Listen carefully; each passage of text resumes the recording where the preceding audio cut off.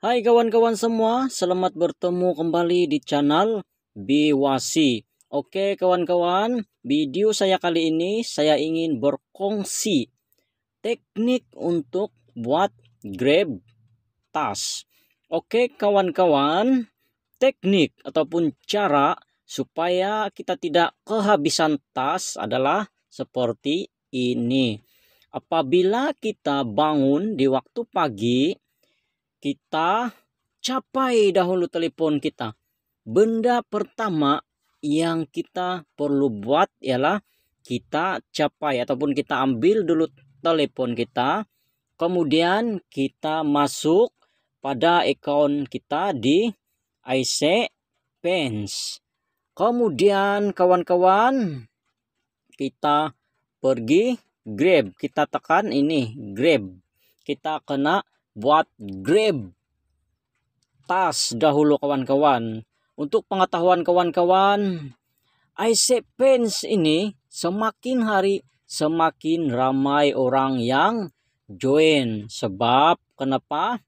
Kita cuma perlu like, follow, dan subscribe. Kita bisa ataupun kita boleh dapat duit.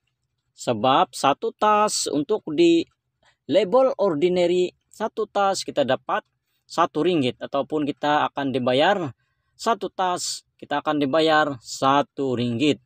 Dan setiap hari kita akan buat tiga tas dan kita akan dapat ataupun dibayar tiga ringgit. Oke kawan-kawan. Apabila kita sudah tekan dekat grab oke kita kena pilih mana satu yang kita mau sama ada di TikTok, Instagram, YouTube ataupun Facebook. Tetapi kawan-kawan, saya sorkan Anda supaya buat tas di YouTube karena dekat YouTube ada banyak tas berbanding di TikTok, Instagram dan Facebook. Jadi kita tekan pada YouTube. Dia akan menjadi warna merah, bertukar warna merah apabila kita sudah tekan. Selepas itu kawan-kawan kita tekan pada ordinary. Sekiranya kawan-kawan berada pada label ordinary, tekan pada label ordinary. Kemudian kawan-kawan kamu pilihlah mana satu yang kamu mau? Sama ada yang pertama ini? Ataupun dekat mana? Tapi kawan-kawan saya sudah buat tas tadi pagi. Sebab kenapa saya takut kehabisan tas. Jadi kita pergi pada tas ini dia tas yang saya grab tadi pagi kawan-kawan. Itulah dia teknik supaya kita tidak kehabisan tas. Kita bangun saja dari tidur pada waktu pagi. Kita ambil telepon. Kemudian masuk pada account iSavings dan grab tas. Apabila kita sudah grab tas, ah, kita keluar daripada account itu dan apa saja yang perlu kita buat kalau kita mau pergi kerja ah, kita bersiap-siaplah untuk pergi kerja. Selepas itu apabila balik dari kerja pada sebelah petang ataupun pada waktu malam apabila kita ada masa ah, baru kita buat.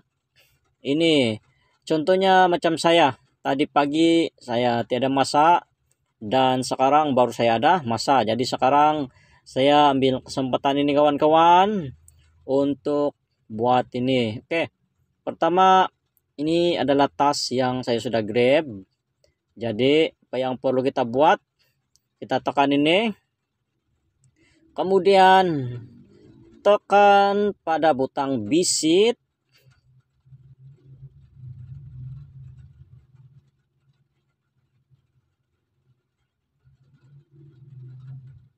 Kalau lain tak berapa bagus kawan-kawan dia akan jadi macam ini.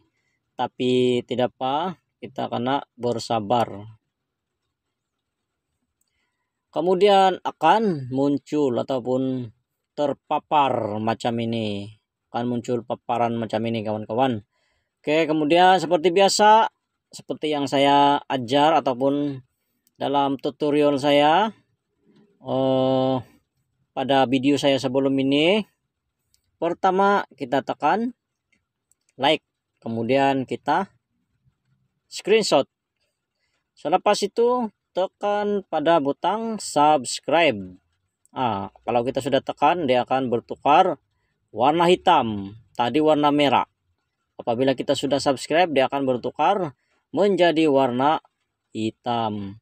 Kemudian kita screenshot selepas itu kawan-kawan kita kembali pada tas tadi yang ini yang ada simbol kamera ini dan dekat atas dia ada tulisan bertulis upload foto kita tekan ini Kemudian sekiranya kawan-kawan menggunakan telepon jenis Android, tekan ini album.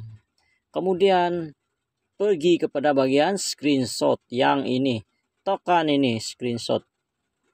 Selepas ini, selepas ini pula, selepas itu tekan pada yang ini. Yang kita pergi like. Kemudian sekali lagi kita tekan nih kamera simbol kamera, tekan pada album, pergi kepada screenshot, dan kita tekan yang kita subscribe tadi kawan-kawan. Dan begini, mesti ada dua. Yang ini, pertama ini adalah like. Dan yang ini adalah subscribe. Kemudian itu, kemudian kawan-kawan, kita pergi pada butang confirm submit yang ini. Tekan ini upload verification successful ah berjaya masuk sini pending kita pergi lagi pada tas kawan-kawan kita tekan lagi. Seperti biasa pergi visit oke kawan-kawan. Ini yang saya nak bagi tahu nak kongsikan dengan kawan-kawan selain daripada yang saya cakap tadi yaitu teknik buat grab tas oke sekiranya kita jumpa macam ini kawan-kawan this video is private. Oke kita kembali. Jangan buat apa-apa. Jangan buat apa-apa. Jangan tekan nih cancel task jangan tekan cancel task kita pergi kepada task seterusnya dahulu. Yang ini seperti biasa kita pergi kepada visit ah ini pun sama kawan-kawan. This video is private. Jangan buat apa-apa. Balik. Balik kawan-kawan pada tas. Oke. Tadi kita cuma berjaya selesaikan satu tas saja. Manakala yang ini dengan yang ini kita tidak dapat lengkapkan tas ini kawan-kawan. Sebab kenapa video dia private. Ah. Jadi kita sudah rugi. Dua ringgit. Sepatutnya kita akan buat tiga tas setiap hari dan setiap hari kita dapat tiga ringgit. Oke ini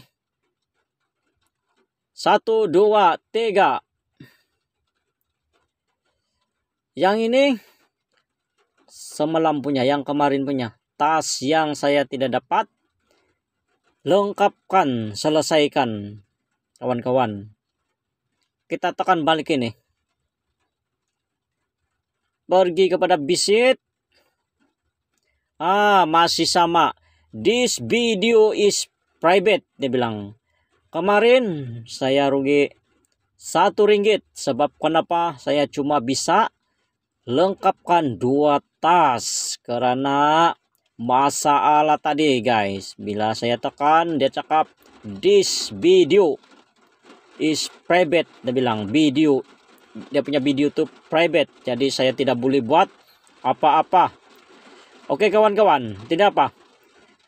Saya bagi tahu dengan kawan-kawan jangan cancel dia punya tas. Jangan cancel dia punya tas oke kawan-kawan untuk video saya kali ini sampai di sini saja dan next video saya akan bagi tahu dengan kawan-kawan macam mana kita mau buat ataupun nak selesaikan tas yang dia punya video tuh private. Kalau kita jumpa yang video dia private, kita ada cara untuk selesaikannya kawan-kawan supaya kita bisa ataupun kita boleh dapat lengkapkan tiga tas dalam satu hari dan kita boleh dibayar tiga ringgit setiap hari kawan-kawan. Oke kawan-kawan, siapa yang belum subscribe YouTube channel Biwasi sila subscribe supaya kawan-kawan dapat update video terbaru daripada YouTube channel Biwasi. Sebab kenapa kawan-kawan? Video saya yang akan datang mungkin besok saya akan berkongsi macam mana kita nak selesaikan sekiranya kita jumpa video yang tanah private. Kita ada cara dia kawan-kawan supaya kita masih bisa, kita masih boleh dapat bayaran tiga ringgit. Oke kawan-kawan, sekian saja perkongsian saya pada kali ini. Sehingga kita berjumpa lagi di video yang akan datang. Stay safe, stay healthy. Thank you for watching. Bye bye.